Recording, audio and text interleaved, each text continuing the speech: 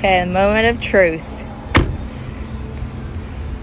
Car seat in a 2023 Palisade. Let's see. Okay, got room. Oh, Much better. not hitting the dash. So what do you think? You could you do that? I think I can handle it.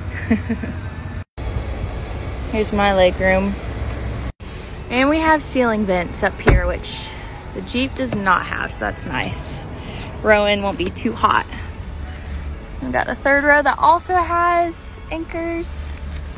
It's got lots of room.